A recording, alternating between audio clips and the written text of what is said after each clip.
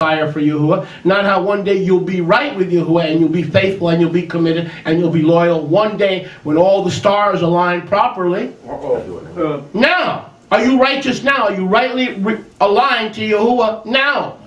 Now. Ask yourself that. Say, self, am I rightly aligned, uh, aligned to Him now? Am I righteous now? Am I in right standing now? And righteousness can be a very fleeting thing. There's positional righteousness, which Yeshua gives you by His blood. That never changes. right. Right? But then there's experiential righteousness, which means you're acting out, out of character. You're supposed to be kadosh by his blood, and you're not acting kadosh. You are acting out of position. You are acting out of character. Oh, wow. Like football. You need to ask yourself all the time, am I acting out of character? Football. Make sense? Yes. Yes. Out- Out of position. And these people were, who were committing harlotry were acting out of character. Mm-hmm. They, were- they were they had they had bitten into the harlot principle. Wow. The unrighteous, who are not constantly living in the moment, not only positionally but experientially, Amen. will not inherit the malchut. Then Rav Shaul says, avoid the harlot principle. The harlot principle will deceive you. Why? Be not deceived. Neither fornicators, we learned, we learned what that was last week. What is fornicators? Men who what? Have sex with someone, a woman who's married, or with a virgin or a single woman, but does not follow through in marital covenant and kiddushin, but they they they withdraw and go elsewhere. They don't follow through. What's so terrible about fornicators is a fornicator causes a if, if he has an affair with a married woman, he causes her to what? Commit adultery. So he has a ripple effect on other people's behavior. Yes. Yes. Nor idolaters, nor adulterers. Mm-hmm. Those are the women Yes. who have sex outside of marriage. Mm-hmm. nor effeminate. I'll get to that in a second. Nor homosexual. Okay, well, no, homosexuals.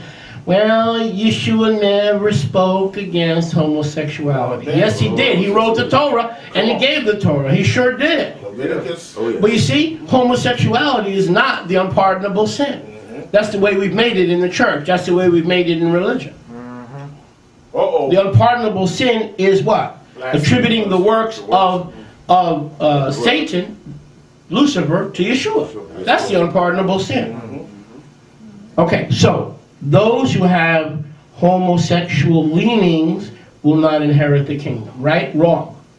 Those who would like to commit adultery but keep themselves righteous will not inherit the kingdom. Right? Wrong. Do not let the devil make you think that thoughts are the same as doing the act. The thoughts are not the same. The thoughts can be taken captive to the will and the obedience of Yeshua and stop deceiving yourselves and make yourselves prepared righteous as you are positionally righteous in Yahuwah. Amen. Amen. So homosexuality is not the unpardonable sin. Idolatry is not the unpardonable sin. Fornication is not the unpardonable sin.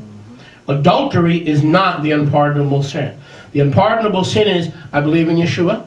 I believe he raised the dead. I believe he walks on water. I believe he healed the sick, but I believe that the power that he uses is the power of the devil. You have just blasphemed the Ruach, oh, attributing the unclean Ruach of Satan to, to be the power source of Yeshua. Yeah. You with me? Yes. Wow. So don't let the enemy lie to you. He says, Be not deceived. Those who continually practice fornication, those who continually practice idolatry and adultery, all forms of harlotry, because you're selling yourself, you're, you're, you're selling yourself to something other than Yahuwah. Hello? Am I boring you? Don't know. No. You are selling yourself for, for something, some compensation, compensation, doesn't have to be money, to something other than Him. You are, you have pledged allegiance to Him and Him alone. Can I get a witness? Amen. So look, it doesn't say those who think about fornication. That's what the church wants you to think it says, but it doesn't say that. Yeshua said, well, hey guys, look, if you look at a woman with lust in her heart, you committed adult, you, you've committed fornication, adultery with her already. You might as well go do it. See, that's a lie of the enemy. You have not done it. You have the power to take that thought captive. Uh-huh. And if a woman lusts after a man in her heart, it's as if she's already committed adultery. What Yeshua is trying to say was, you Pharisees are not saved because of your Torah keeping. You need a greater righteousness, which is my blood, applied to your sins. He's not saying thinking equals the act. Because if that was true, there'd be nobody left on the planet. Because everyone in this room, at one time or another, can we talk? Yes. Let's talk. Around the world, listening on radio, listening on YouTube, has thought of killing someone. Mm. Don't tell me no. You know, Whether it was by car, by rope, I can't drive a poker by gun in the house. We have thought of killing someone because we're frustrated, we're angry, we're in a bind, we're in a pickle, and we don't know how to get out of it. And in our frustration and our wicked hearts, we think somehow that eliminating the other person or a person might bring us some kind of a victory or some kind of a healing. Don't lie to me. Because the, the word of Yahuwah says you shall not lie. Somebody cut you off in traffic, you're so angry that your middle finger pops up. As soon as it hits the brake, you are ready to kill. That is anger in your heart. If that anger is channeled in the right way, it can lead to murder. Yeah, that's true. Or in the wrong way. You're getting killed. Only the people on YouTube channel. What's that? Only the people on YouTube channel. Right. Not in this room. Not in this room. So, do not let the devil lie to you. What Yeshua was saying is, look, you Pharisees, you think you're righteous and you don't need me? You think you don't need salvation? Let me tell you about adultery and fornication. It starts in the heart. In the heart. And if you're thinking about it, your, your heart's wicked. So you're not fooling me. You need to come to me and be my disciple. Amen.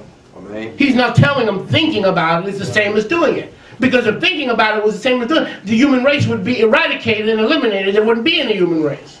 We would have all wiped each other out a long time ago.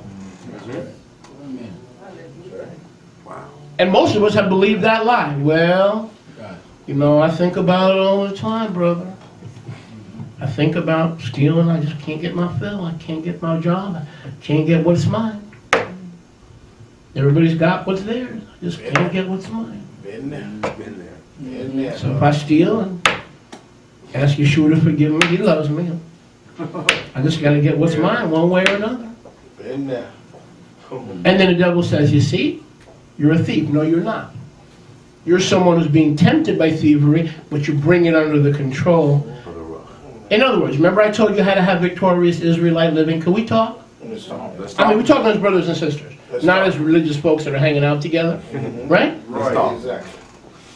Here is the good, good news of the best Besorah. The power! The power of the best Besorah. You ready? Amen. Amen. Is anyone enjoying? Oh, yes. Amen. The Amen. principle, the harlot principle. Here's the way we are to approach sin so that you don't sin, Wilbur. You with me? Ready? Yeah. Here's the correct, healthy way. No matter what the sin is fornication for men, adultery for women, idolatry for most of us, effeminate behavior for most of us, I'll get to that in a second, and homosexuality. Ready? I can do it. I can cheat. I can lie. I can do anything, especially in the United States where we have the Constitution and the Bill of Rights. Mm-hmm. Yeah. I can do it. Now here's the scary part, Wayne. You ready? Here's the scary part. So you just got mentioned on YouTube. Now you can be famous. YouTube. Toot, toot, toot, toot, toot.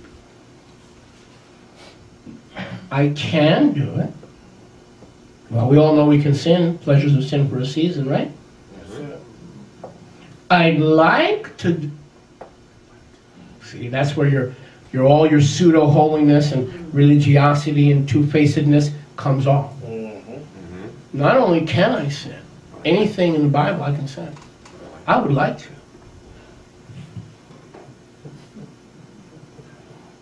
Hello? Why are you men looking at me so righteous? There's a lot of things I would like to do. Mhm. That's the scary part. Yes.